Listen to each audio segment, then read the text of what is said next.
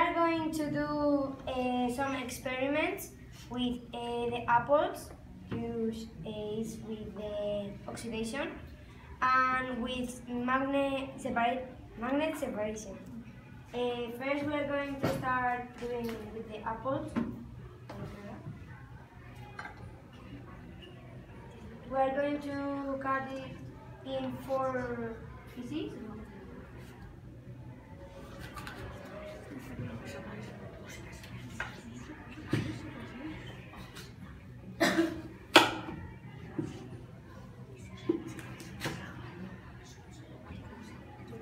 And with uh, this piece we are going to leave it here and the other one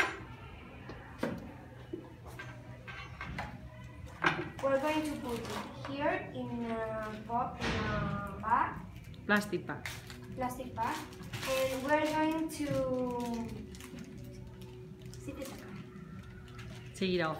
take all the air with a straw. So a volunteer for.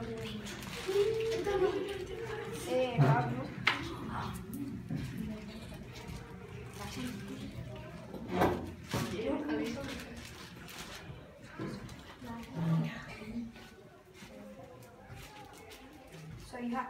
Yeah, I know.